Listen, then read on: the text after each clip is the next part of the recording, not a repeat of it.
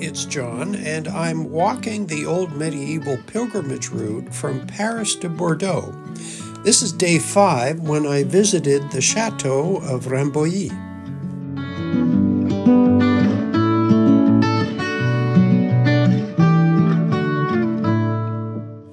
Here's Rambouillet on my route, and it has a magnificent chateau. There were beautiful rooms, lovely views out the window at the water features, and a surprise for a Canadian visitor that knew what he was looking at.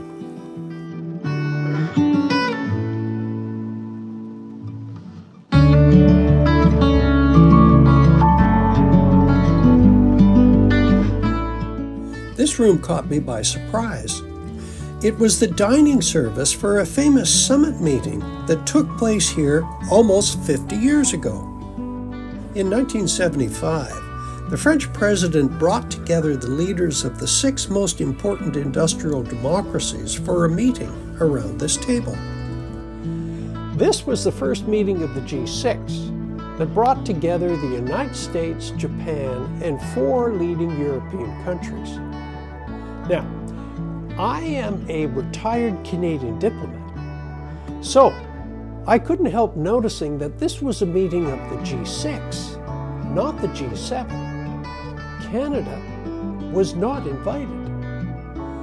Naturally, this hurt a little bit. Canada didn't attend these meetings till the subsequent year. Still, I was glad to see that there were Canada geese on the grounds of the chateau.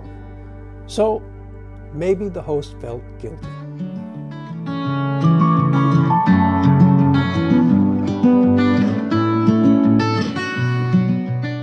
I was on my way to the next town, Epernon, after the tour, and it was a beautiful walk along the canal beside the chateau. But there was more to see on the grounds. This I learned was the laiterie or dairy, and it was built in the dying days of the French monarchy for Marie Antoinette by her husband Louis XVI. It's hard to know what this really is, but it was an expression of Louis XVI's love for his wife. And of course, the two of them were doomed when the revolution came.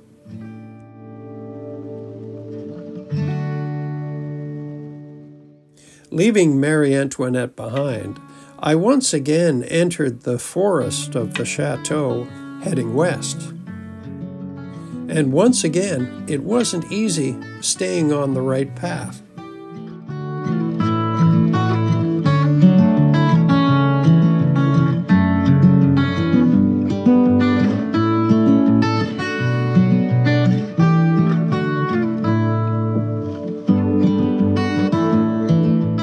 But I made it to my destination. Up next, day six, walking into shot. And this walk was everything and more that I hoped it would be.